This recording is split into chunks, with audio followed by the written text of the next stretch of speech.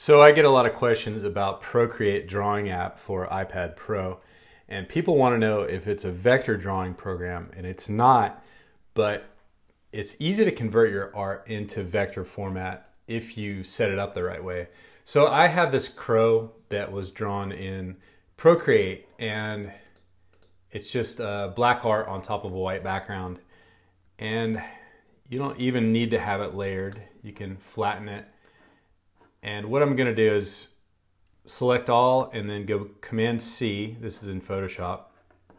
And now I wanna go into Illustrator and I'll paste it in there. And I have a image trace preset and I'll go ahead and apply that, but I'll show you what the preset is.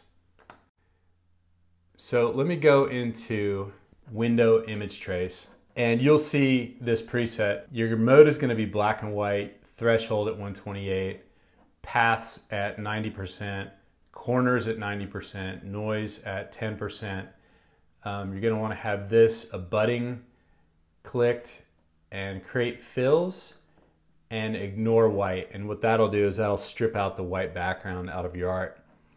And I've already applied this image trace preset, but one thing we need to do is click expand, that converts it to paths and you can see it does a pretty good job. You know, the art is really still nice and there's not too many paths in there. Like there's a bunch of paths right here.